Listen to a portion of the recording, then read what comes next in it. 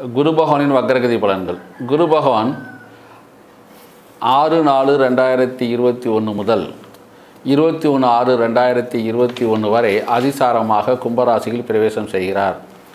அடுத்து இருபத்தி ரெண்டாம் தேதி ஆறாவது மாதம் ரெண்டாயிரத்தி இருபத்தி ஒன்றில் இருந்து இருபது ஏழு ரெண்டாயிரத்தி இருபத்தி ஒன்று வரைக்கும். அடுத்து இருபத்தி ஒன்று ஏழு ரெண்டாயிரத்தி இருபத்தி ஒன்று முதல் பதினஞ்சு ஒம்பது ரெண்டாயிரத்தி இருபத்தி ஒன்றிலும் வக்ரகதியுடன் கும்பத்தில் பிரவேசம் செய்கிறார்.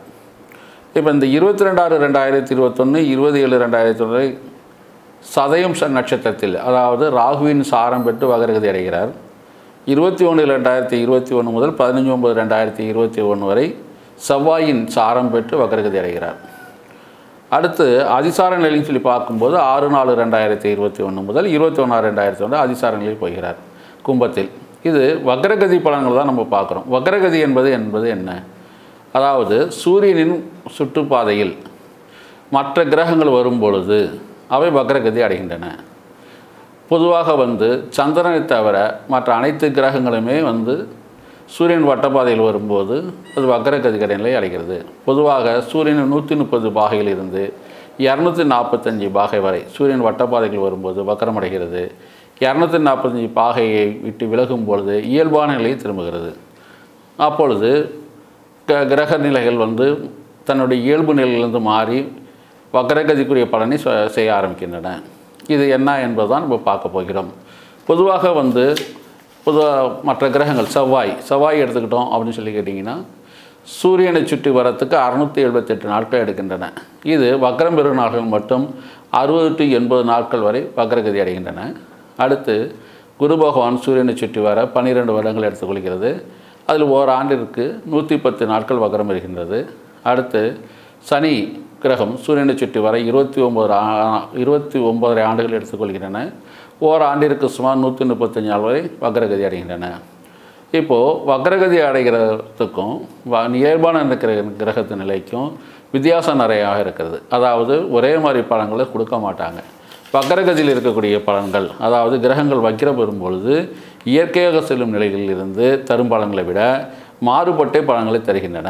பொதுவாக வந்து வக்கரகதி விட சூரியனுக்கு ரெண்டில் மற்ற கிரகங்கள் வரும்போது சீக்கிரகதியையும் சூரியனுக்கு மூணில் வரும்போது சமகதியும் சூரியனுக்கு நாலில் வரும்போது மந்தகதியும் சூரியனுக்கு ஐந்து ஆறு ஏழு எட்டில் வரும்பொழுது வக்ரகதியும் ஒம்பது பத்தில் குடிலகதியும் பதினொன்றில் சீக்கிரகதியும் பன்னிரெண்டில் அதிசீக்கிரகதியும் அடைகின்றன என்று ஜோதிட சாஸ்திரங்கள் சொல்கின்றன.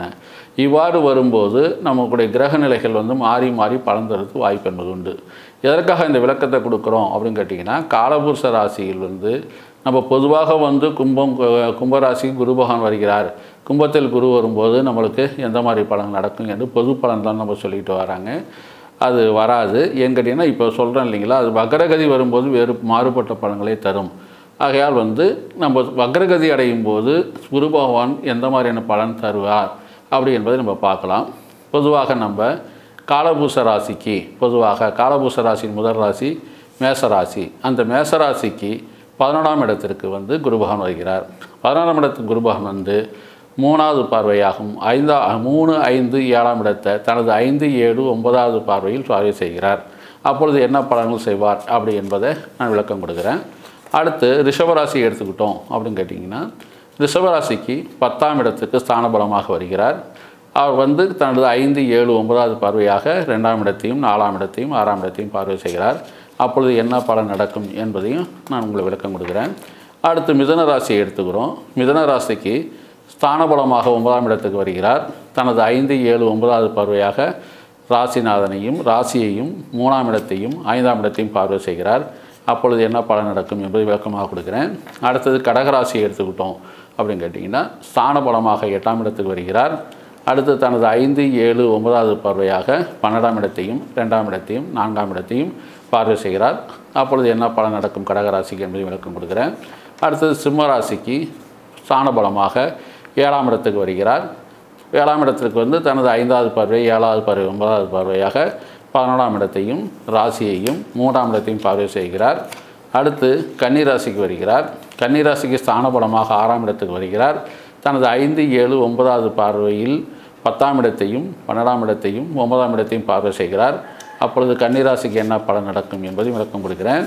அடுத்து துலாம் ராசிக்கு ஸ்தானபலமாக ஐந்தாம் பாவத்துக்கு வருகிறார். ஐந்தாம் இடத்துக்கு வருகிறார்.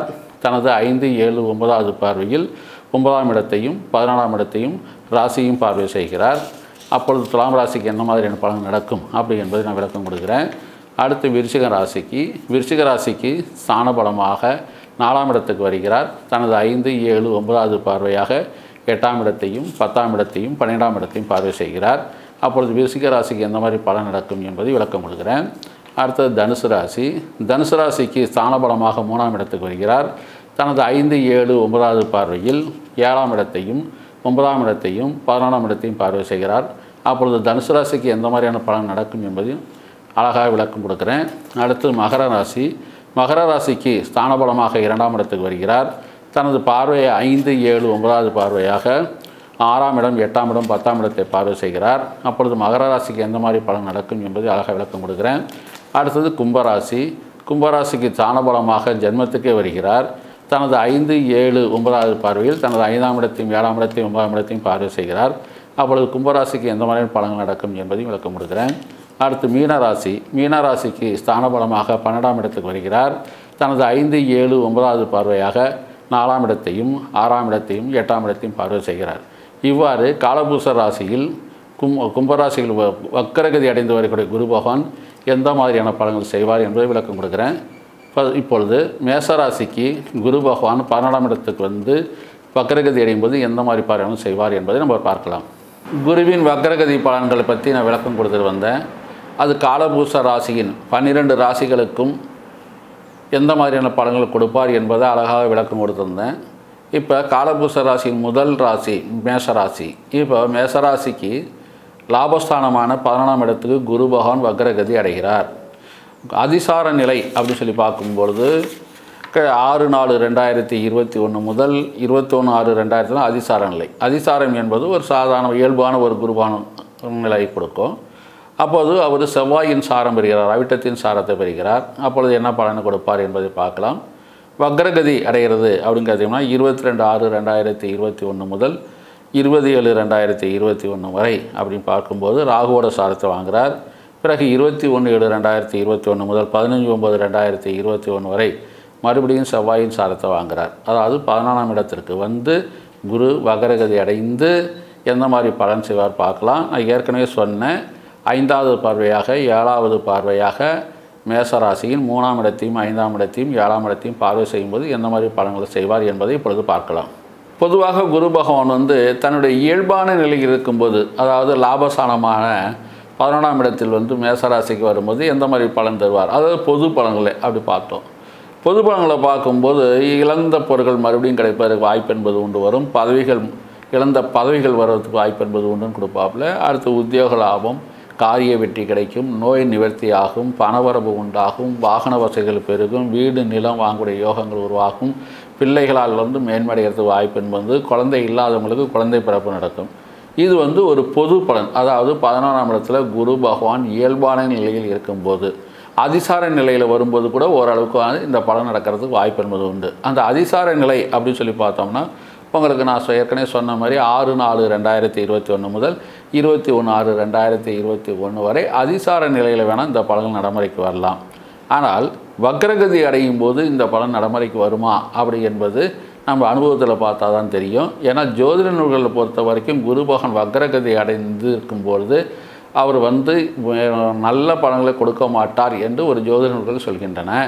ஏன்னு கேட்டோம்னா ஒரு தனியாக இருக்கக்கூடிய ஒரு பொதுவாக ஒரு விலங்கினத்தை எடுத்துக்கொள்ளுங்களேன் அதாவது கூட்டத்தோடு இருக்கிற விலங்கின விலங்கினத்துக்கும் அல்லது தனியாக இருக்கக்கூடிய விலங்கினத்துக்கும் வித்தியாசம் நிறையா தெரியும். அவர் வக்ரம் பெற்று நிற்கக்கூடிய ஒரு கிரகத்தோடைய பலன் என்பது மாறுபட்டு தான் இருக்குமே தவிர ஒரு சுப பலனாக மாறாது. அதனால் வந்து இந்த குரு பகவான் வந்து கும்பத்தில் குரு வக்ரகதி அடையும் பொழுது அதாவது இருபத்தி ரெண்டு ஆறு ரெண்டாயிரத்தி இருபத்தொன்று முதல் பதினஞ்சு ஒம்பது ரெண்டாயிரத்தி இருபத்தி ஒன்று வக்ரகதி அடையும் பொழுது அடுத்து வந்து அவங்க பார்க்குற பார்வை ஐந்தாம் இடம் ஏழாம் இடம் ஒன்பதாம் இடத்தை வந்து பார்க்க பார்வையாக பார்க்குறாரு. அது மூணாம் இடம் அஞ்சாம் இடம் ஏழாம் இடத்தை வந்து பார்க்குறாரு. அப்படி பார்க்கும்போது அந்த ஸ்தானத்தை வந்து கெடுக்க செய்வார் என்பது ஜோதிடர்கள் சொல்கின்றன அது எந்த மாதிரியான படங்களாக இருக்கும் அப்படின்னு சொல்லி பார்த்தோம்னு சொல்லி கேட்டிங்கன்னா பிரச்சனைகள் ஏற்பட்டு கொண்டே இருக்கும். சகோதர வகை பிரச்சனை ஏற்பட்டு கொண்டே இருக்கும். அடுத்தது அரசாங்க வகையில் தொல்லைகள் ஏற்பது வாய்ப்பு என்பது உண்டு. திருமண சம்பந்தமான காரியங்கள் எடுத்தால் அது வந்து சரியாக வராது. தேவையில்லாத குழப்பங்கள் போராட்டங்கள் தான் ஏற்பட்டு கொண்டு இருக்கும். அடுத்து அப்படி சொல்லி பார்த்தோம்னு சொல்லி கேட்டால் குறுக்கு வழியில் பணம் சேர்க்கறதுக்குடைய மனநாடி நாடிக்கொண்டே இருக்கும்.